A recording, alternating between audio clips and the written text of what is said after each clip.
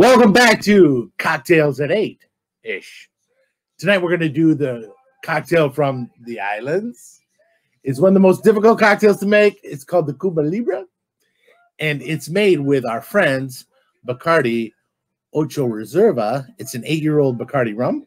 First, you want to start out with that an ounce and a half in your highball glass. Follow it up with Coca Cola. And first of all, I'd like to thank our sponsors. Nobody. We need some. Then it's just a squeeze of lime and a wheel. That's it. Cuba Libre time. Shake your body line. Thank you so much for joining us at Cocktails at 8ish.